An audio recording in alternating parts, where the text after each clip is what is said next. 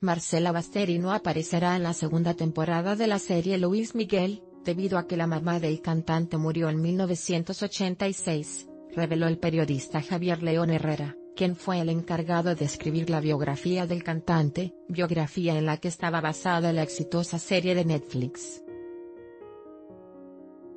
El escritor Javier León Herrera concedió una entrevista a un programa de espectáculos donde explicó que, después de realizar una investigación, los resultados arrojaron que Marcela Basteri había fallecido que no quepa la menor duda de que Marcela Basteri murió, déjenla descansar en paz.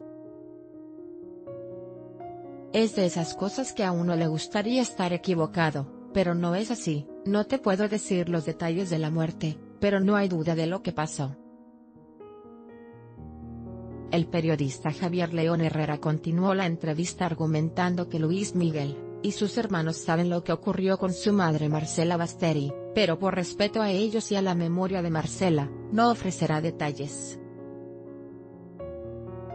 La serie de Luis Miguel está basada en el libro Luis mi rey de Javier León Herrera, quien comentó que la primera temporada de la producción de Netflix muestra una escena en donde el cantante ve a su madre por última vez, sin embargo, recalcó que después de ese día se volvieron a reunir.